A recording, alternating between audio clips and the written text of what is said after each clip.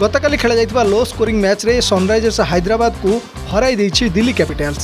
ପ୍ରଥମେ ବ୍ୟାଟିଂ କରିଥିବା ଦିଲ୍ଲୀ ନିର୍ଦ୍ଧାରିତ ଓଭରରେ ଶହେ ପଇଁଚାଳିଶ ରନ୍ କରିଥିଲା ବିଜୟ ଲକ୍ଷ୍ୟକୁ ପିଛା କରିବାକୁ ଯାଇ ହାଇଦ୍ରାବାଦ ମଧ୍ୟ ବିପର୍ଯ୍ୟୟର ସମ୍ମୁଖୀନ ହୋଇଥିଲା ଦିଲ୍ଲୀ ପକ୍ଷରୁ ମନୀଷ ପାଣ୍ଡା ଅକ୍ଷର ପଟେଲ ସର୍ବାଧିକ ସ୍କୋରର ହୋଇଥିଲେ ହାଇଦ୍ରାବାଦ ପକ୍ଷରୁ ମୟଙ୍କ ଅଗ୍ରୱାଲ ଅଣଚାଳିଶ ରନ୍ କରିଥିଲେ କ୍ରମାଗତ ପାଞ୍ଚଟି ମ୍ୟାଚ୍ ହାରିବା ପରେ ଦିଲ୍ଲୀ ଲଗାତାର ଦ୍ୱିତୀୟ ବିଜୟ ହାସଲ କରିଛି ଦୁଇ ଦଳ ପଏଣ୍ଟ ଟେବୁଲରେ ଶେଷ ଦୁଇଟି ସ୍ଥାନରେ ଅଛନ୍ତି ନିଜର ଅଲରାଉଣ୍ଡର ପ୍ରଦର୍ଶନ ପାଇଁ Akshar Patel man of the match award ପାଇଥିଲେ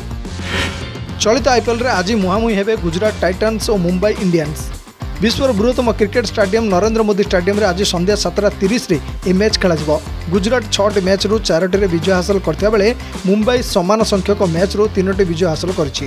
ଆଜିର ମ୍ୟାଚ୍ ଜିତି ପଏଣ୍ଟ ଟେବୁଲ୍ର ଉପରକୁ ଉଠିବାକୁ ଚାହିଁବେ ଉଭୟ ଦଳ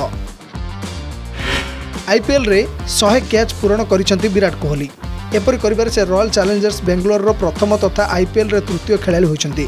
ଗତ ରବିବାରରେ ରାଜସ୍ଥାନ ବିପକ୍ଷ ମ୍ୟାଚ୍ରେ କୋହଲି ଏହି ମାଇଲ ଖୁଣ୍ଟ ହାସଲ କରିଥିଲେ ଏହି ମ୍ୟାଚ୍ରେ ବିରାଟ ଯଶସ୍ୱୀ ଜୟସୱାଲ ଓ ଦେବଦତ୍ତ ପାଡ଼ିକେଲଙ୍କ କ୍ୟାଚ୍ ନେଇଥିଲେ ତେବେ ବିରାଟ ଏହି ମ୍ୟାଚ୍ରେ ଗୋଲ୍ଡେନ୍ ଡକ୍ରେ ଆଉଟ୍ ହୋଇଥିଲେ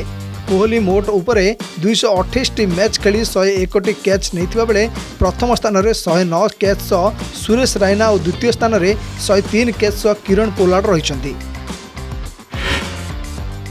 ଗତକାଲି ମାଷ୍ଟର ବ୍ଲାଷ୍ଟର ସଚିନ ତେନ୍ଦୁଲକରଙ୍କ ଜନ୍ମଦିନ ଥିଲା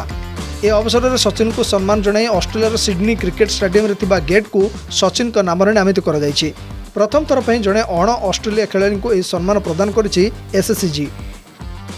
ସେହିପରି ସାରାଜରେ ମଧ୍ୟ ଏକ ସ୍ୱତନ୍ତ୍ର ଉତ୍ସବର ଆୟୋଜନ କରାଯାଇ ସଚିନ ତେନ୍ଦୁଲକର ୱେଷ୍ଟ ଷ୍ଟାଣ୍ଡର ଉନ୍ମୋଚନ କରାଯାଇଥିଲା